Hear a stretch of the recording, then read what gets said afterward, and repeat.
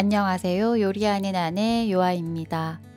오늘은 특허 기술로 키워 육질이 부드러운 고품질의 국내산 명품 돼지고기 두지포크 명품 돈육 오겹살과 목살을 소개합니다. 특허 기술 에코 프로바이오틱스 솔루션 친환경 축산 방법으로 키운 고품질의 돼지고기 두지포크인데요. 불포화 지방산과 유기산이 풍부해 육질이 부드럽고 건강해서 더욱 특별한 맛을 느낄 수 있어요. 유통 과정 없이 산소 포장하여 더욱 신선한 맛으로 즐기실 수 있답니다. 한번 맛보시면 지금까지 맛본 돼지고기와는 차원이 다르다는 걸 느끼실 거예요. 먼저 오겹살부터 구워서 먹어봤는데요. 육질이 부드러워서 구이용이나 찜용으로 적합한 오겹살이에요. 고기 구울 때 허브 salt 살짝 뿌려주면 더 맛있죠. 두지포크는 앱코 프로바이오틱스를 사용한 친환경 농장 두지팜에서 건강하고 행복한 돼지를 키우고 있다고 해요.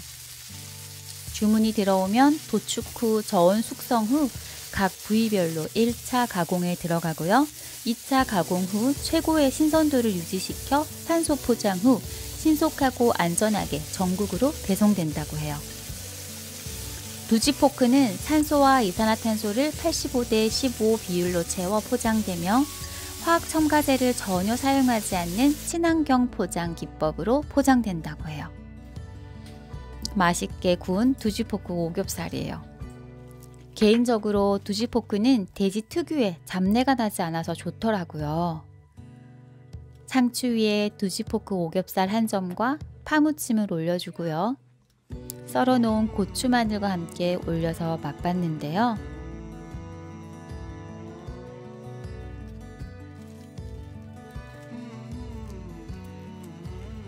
정말 말이 필요 없는 맛이에요. 너무 맛있어요.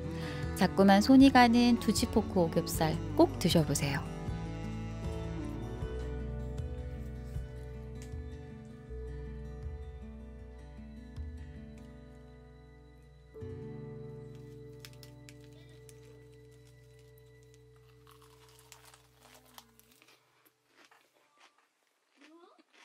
이번에는 맛있는 돼지고기 두지포크 목살을 이용해서 카레를 만들어 봤어요.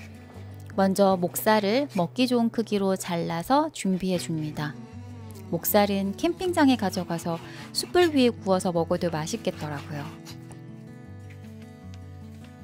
달궈진 팬에 오일을 둘러준 뒤 썰어놓은 야채부터 볶아줍니다. 딱딱한 야채부터 먼저 볶아주고요.